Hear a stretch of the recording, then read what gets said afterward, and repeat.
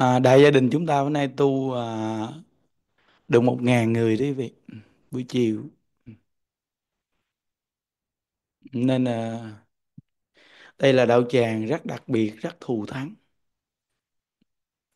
Tu xong rồi à, nhà ai nấy ở cơm ai nấy ăn việc ai nấy làm. Gọn hơi quý vị. Chứ một ngàn người này mà à, tập trung ở đâu đó thì à, cũng lo cũng cực lắm không đơn giản ha ừ. phải đòi hỏi có nhiều người để à, giúp đỡ lo lắng. Nên là à, mình có được cái đạo tràng này à, mình rất là trân quý. Trân quý nhất là mình à, mỗi ngày cùng lên tu khi sắp xếp được thời gian đừng nên à, à, giải đãi nghe quý vị. Giải đãi có nghĩa là mình khó giải thoát. Giải đãi thì khó giải thoát. Nên mình phải à, siêng năng tinh tấn.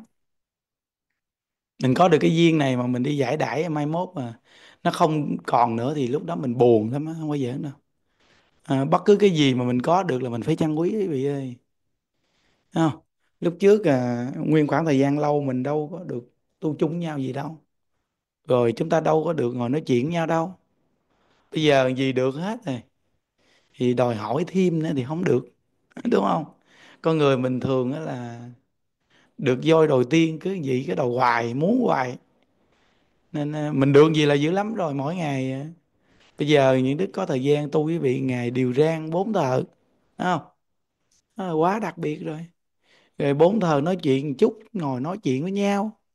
Rồi nói đại gia đình là thấy quá ấm áp, quý vị. Ừ. thật sự đây là đại gia đình. Ừ. Lúc trước mình nói là đại chúng đồ này kia, chứ giờ là đại gia đình. Mỗi gia đình nhỏ, gia đình nhỏ gom lại thành một đại gia đình lớn. Mà thiện duyên này rất là đặc biệt. Nên mình mỗi ngày niệm Phật phải nhắc nhở mình cái tin nhân quả quan trọng lắm quý vị. Cả đời con người phải đi vào cái việc mà tin sâu nhân quả này phải đi sâu. Khi mình mà đi sâu vào cái việc mà tin sâu nhân quả đó, sẽ ít phiền não. Ít phiền não. Thêm nữa là mình không có ác tâm.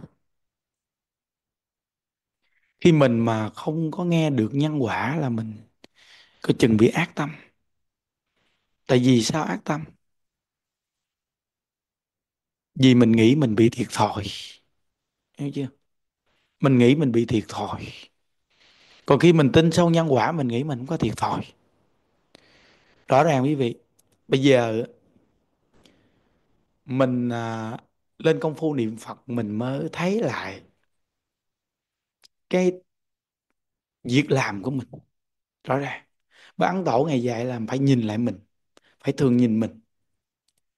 Đó. khi cái tác động ai nói mình mình phải nhìn lại mình xem mình. Cái này quan trọng lắm nghe quý vị. Nếu như mình mà không dụng công tu nghe là ai nói mình mình chỉ có tức. À, mình chỉ có tức giận thôi. Và mình trách tại sao nói mình thôi. Nhưng khi mình mà niệm Phật rồi mình sẽ nhìn lại mình. Ừ. À, giống như bây giờ những đức tu tập với quý vị. Thấy không?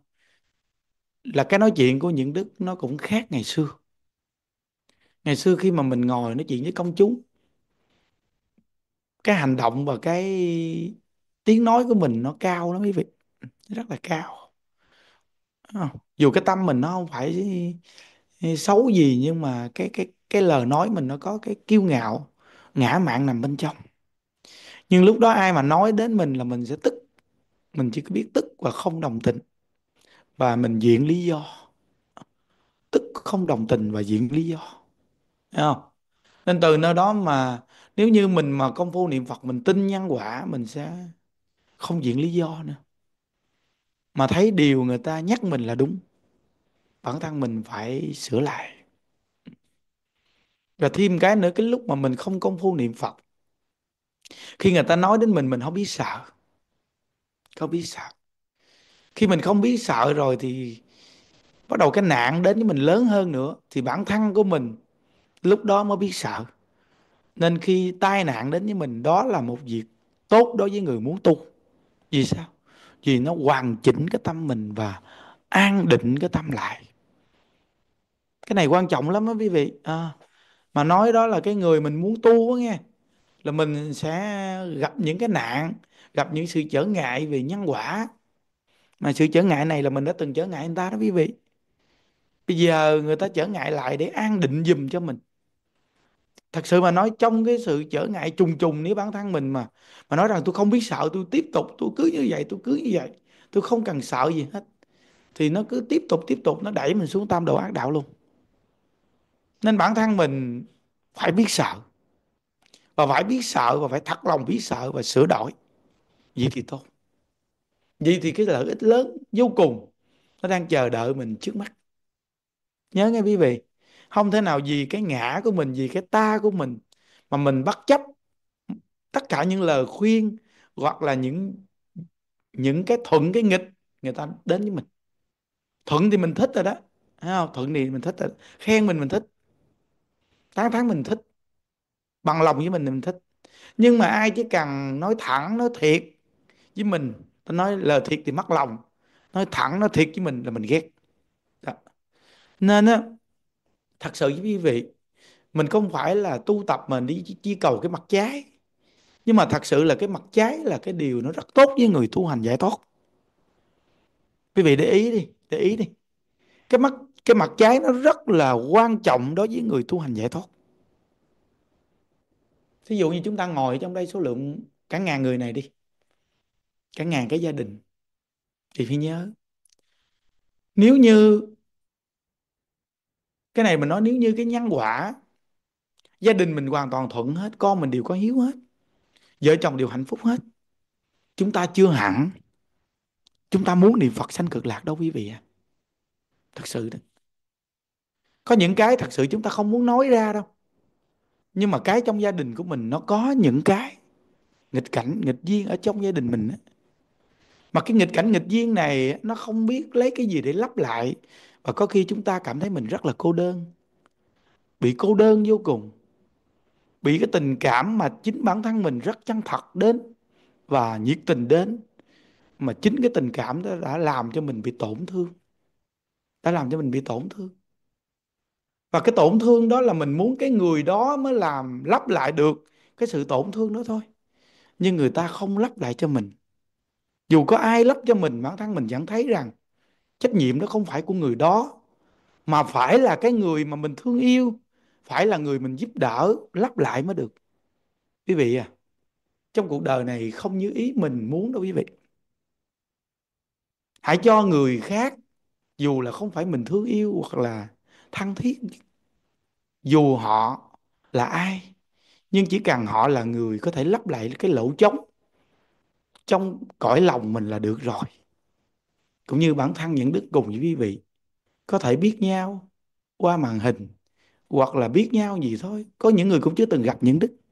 Nhưng chúng ta có thể là những người thân của nhiều đời nhiều kiếp. Dù một hai lời nói thôi, cũng có thể so dịu, bớt đi những sự đau khổ trong cõi lòng của mình được. Chúng ta hãy cho nhau cơ hội đó. Và thấy mình là những người bạn có thể giúp nhau cả cuộc đời quý vị. Có những lúc buồn, có những lúc mình bị bế tắc, có những lúc mình chán nản nhất. Lại có thể đủ duyên nghe người này nói vài lời để cởi mở tâm tư. Cái đặc biệt nhất của chúng ta là có một phương hướng để mình về thế giới cực lạc quý vị à. Nên mình không cảm thấy bị tổn thương. Dù là cái nghịch cảnh gì đến với mình mình cũng cảm thấy rằng bản thân mình có thể chấp nhận trả. Vì sao? Vì mình cảm thấy mình mừng, vì mình còn có một con đường đi. Còn người thân của mình, dù hiện tại họ không thương mình, hoặc họ đối xử tệ bạc với mình, họ lường gạt mình, nhưng mình tội nghiệp họ. Vì cuộc đời có người ai cũng phải chết đi và họ hiện tại đang lao theo cái dòng xoáy của cuộc đời. Họ không có một phương hướng giải thoát. Đây mới là cái tội nghiệp nhất mà mình tha thứ cho họ. Hiểu không? Bởi là tu hành là phải hiểu nguyên lý nhân quả thì khi mình tha thứ cho họ thì nó mới chuyển nghiệp quý vị. Chúng ta đa phần, chúng ta đều đòi hỏi là mình thương, mình giúp, mình lo. Họ phải có một cái gì, tình cảm gì đó để đến với mình. Nhưng trong cuộc đời nó đâu thế nào như vậy quý vị. Thật sự như bản thân những đức 15 năm trong ngôi tam bảo cũng vậy thôi. Bây giờ những đức đòi hỏi cái gì bây giờ? Nên những đức chấp nhận và được như vậy là đã mừng rồi. Thật sự mà nói chấp nhận và được như vậy là đã quá mừng rồi. Nếu như những đức nói ra những điều mà trong 15 năm những đức làm và những đức đã đã nhiệt tình làm, và bây giờ những đức được cái gì thì cái điều đó không khác nào. Những đức đi trách móc quý vị. Nhưng mà cuộc đời mà mình làm sao đòi hỏi được quý vị? Bản thân mình hãy chấp nhận và hãy đón nhận những cái mình được đi. Thì biết đâu cái được đó mình sẽ thấy ra là cái được này Phật rất thương mình còn có những cái mình đòi được á, thì có khi nó lại không lợi ích cho mình về con đường giải thoát. Con đường giải thoát nó lại không tốt. Nhưng mà cái trước mắt mình được nếu mình nhận thức và chấp nhận thì nó lại đi đến giải thoát. Thật sự nên con người phải kiên nhẫn và phải kiên định nghe câu Phật hiệu. Và khi mình được nghe Phật pháp mình phải nhận thức Phật pháp có một giá trị cực kỳ hay. Nó có một yếu tố tuyệt vời nằm bên trong để giải tỏa tâm tư và lấp lại những cái lỗ trống trong tâm của mình mà bản thân của mình thường bị hụt hẳn. Thật sự mình có khi những lúc mà mình cảm thấy mình rất là cô đơn, nếu như mình không gặp Phật pháp, mình sẽ bị trống vắng và cô đơn, bị bỏ rơi và mình đi đến tuyệt vọng.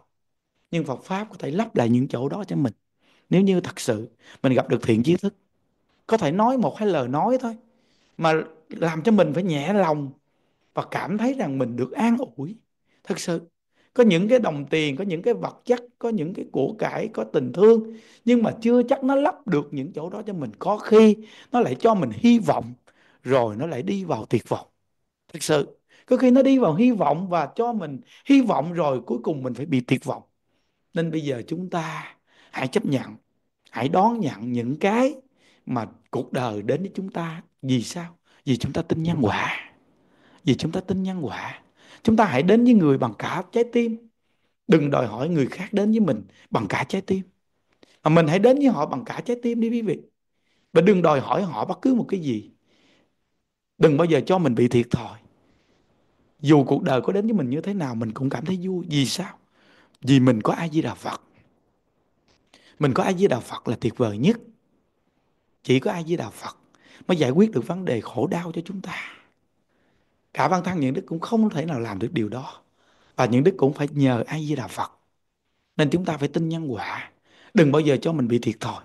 Nên những đức hôm qua có đoạn nói chuyện nói rằng, những đức đều hoàn toàn xin lỗi. Và những đức đều thấy mình có lỗi. Và lúc trước dù có nói chuyện hay cỡ nào, cũng là tính tình của người kiêu ngạo. Người ta nói mình rất đúng. Và nói những lời bậy bạ, người ta nói mình rất đúng. Hoàn toàn. Người ta nói mình đúng vì tin nhân quả. Và từ hôm nay mình phải sửa lại. Bản thân mình phải biết cảm thấy sợ và phải sửa đổi lỗi lầm. Sợ không phải là hàng mà sợ là điều đúng vì bản thân mình sai. Sai thì phải biết sợ. Sợ để sửa đổi lỗi lầm. Đây là điều đúng.